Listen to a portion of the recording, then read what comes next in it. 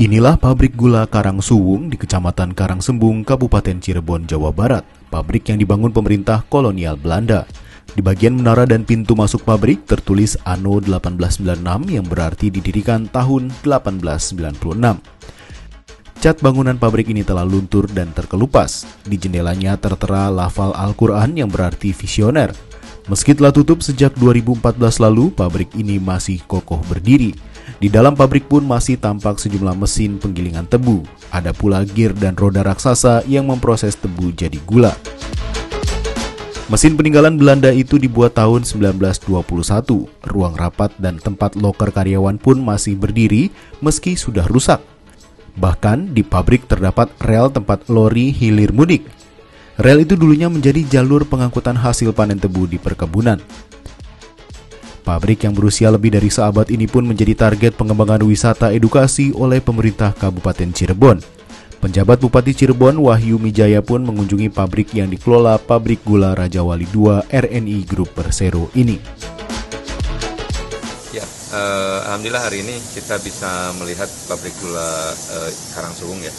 Ini eh, kita coba lihat, kita coba diskusikan kemungkinan pengembangan kerjasamanya eh, karena uh, apa sampai saat ini uh, sudah tidak produksi lagi yang ada di sini uh, sehingga kita coba memikirkan untuk kerjasama uh, apa yang paling memungkinkan supaya bisa membangkitkan ekonomi yang ada di uh, wilayah Karangsembung ya kecamatan Karangsembung ini. Uh, mudah-mudahan kalau misalnya kita sudah melihat, sudah kita coba diskusikan dan kita uh, ke depan kita coba uh, tawarkan mungkin ada yang berminat untuk berinvestasi kerjasama di uh, sini gitu. mudah-mudahan ke depan. Tapi ada potensi potensinya seperti apa?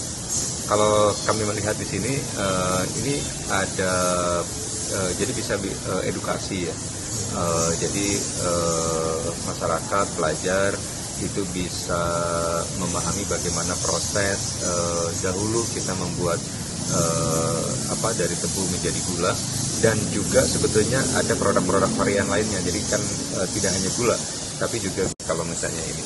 Nah tapi yang paling penting adalah bagaimana uh, memahami putra putri kita pelajar kemudian masyarakat memahami bagaimana proses Nah, kemudian juga uh, kita bisa uh, satukan dengan beberapa potensi yang ada di lingkungan Karangsumbung ini. Potensi wisata ada nggak, Pak?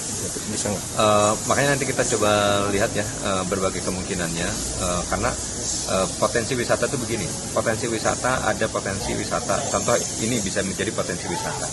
Uh, bisa potensi wisata juga yang dibuat gitu ya. Hmm. Bisa juga potensi wisata memang berdasarkan uh, kondisi alam yang memungkinkan untuk uh, uh, tempat wisata. Jadi berbagai potensi wisata. Jadi menurut saya nanti kita coba lihat uh, ketersambungan uh, di area sini sehingga uh, tidak hanya di satu titik gitu ya.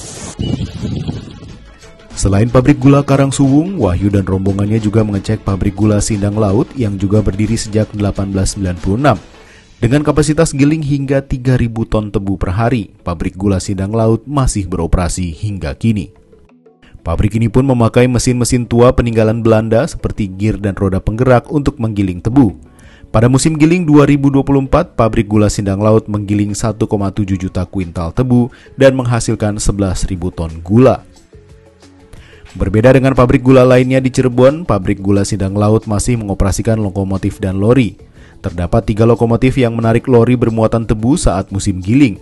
Wahyu menilai pabrik gula berpotensi menjadi tempat wisata edukasi untuk mengenalkan pabrik gula bersejarah.